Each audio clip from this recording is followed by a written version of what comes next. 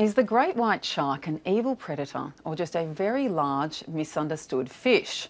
In his new book about the great white shark, James Woodford describes it as a fish with the body of a torpedo, the jaws of a bear trap, the stomach of a wheelie bin, the power of a truck, eyes as big as billiard balls, and a brain smaller than the top of your thumb. He also says our phobias about sharks have become common wisdom and led to very bad policy. James Woodford is an environmental journalist and oceans correspondent for Pew Charitable Trust. Welcome to the drum. Thanks, Julie. I did have someone say, was it my brain that was the size of a thumb? now, Great white. What did you learn in researching this? I know you spent a lot of time observing sharks down in cages on the ocean floor that, that not you didn't know before, but we didn't know before. Look, there's one thing that just really stood out to me, and that is that each shark is actually an individual, and that the scientists know them by name. They can see them as soon as they see one of the sharks come close to the boat. They can instantly say that's Buffy or Cowgirl or Freckles or whatever. And it's not just how they look, but how they act. That really surprised me. Distinct personalities, yeah, yeah. relationships. Uh, Can well, you observe that? No, you can't really. They're, they're actually very. Um, they stick to themselves, so they're not a, a schooling animal. Um, and we're only just starting to learn about their, you know, how they interact socially. So, for example, you know, we still don't even know where the pups, where, where they pup. So um, there's so much that we don't know about great whites. So a lot of people do, you know, you know, go on little tours and see them, yep. go past them. But you actually spent hours in the ocean watching them. You got headbutted by one at, at one point and described it as having a nose of concrete. Yep.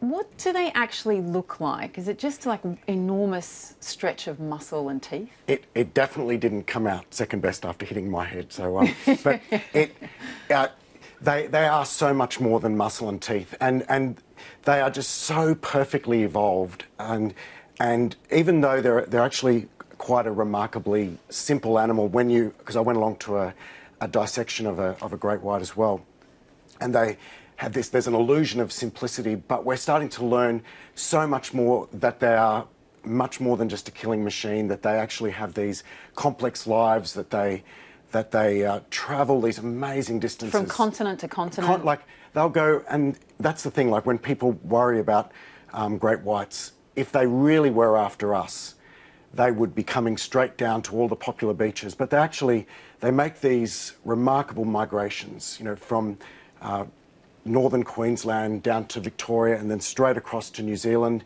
and back again, and they'll go down to depths of over a kilometre, you know, and they their navigation is just extraordinary. Right. James, what did you think about the West Australian government's policy? I, look, I actually think a, it was a real waste of, uh, of, of resources. And I think one of the really tragic things that happened as a result of that drumlining process was that there was 163 tiger sharks got caught in the drumlines and no white sharks. The problem is we've had, there has not been a fatal tiger shark attack in Perth since the 1920s.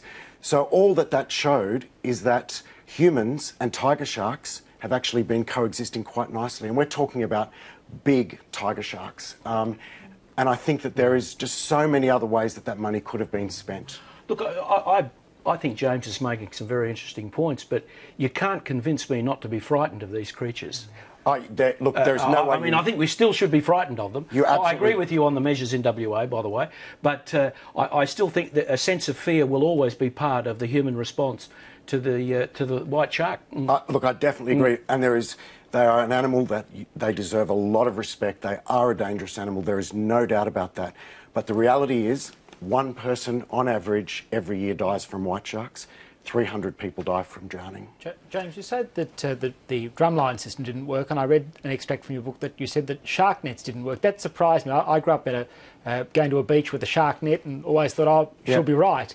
Is there something that we can do that's useful, or, or not really? You just think the statistics are, are so low that well, we shouldn't? What, what the scientists actually say is that you're trying to protect against a risk that actually almost doesn't exist. So the, the number of deaths is actually so small.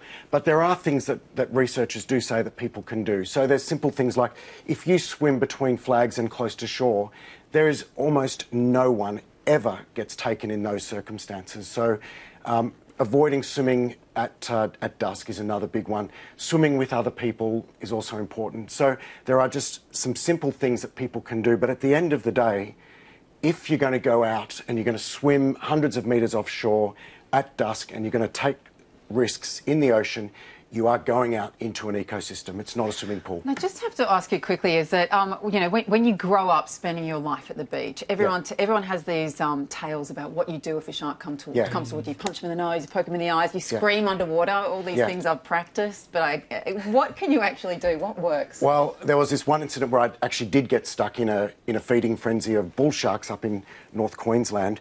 Uh, that was outside of a cage and what I realised in that situation is that they are so big, they are so fast, and they are so scary.